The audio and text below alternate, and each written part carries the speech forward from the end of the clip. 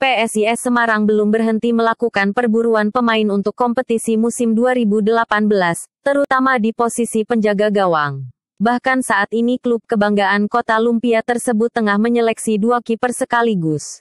Dua penjaga gawang yang dimaksud adalah Muhammad Ridwan yang sebelumnya bermain di Semen Padang serta mantan kiper Persela, Ferdiansyah. Beberapa waktu lalu tim pelatih telah memulangkan ex penjaga gawang Persegres, Aji Saka.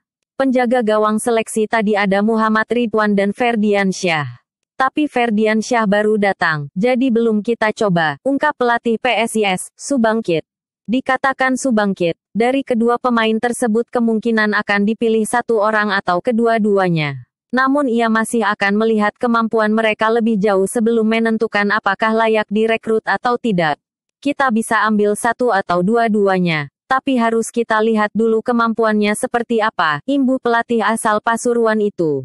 Untuk posisi lainnya yang masih kekurangan adalah di lini serang, namun ia mengakui masih kesulitan mencari striker lokal yang dinilai layak menjadi bagian dari PSIS. Sehingga pihaknya tak mau terburu-buru.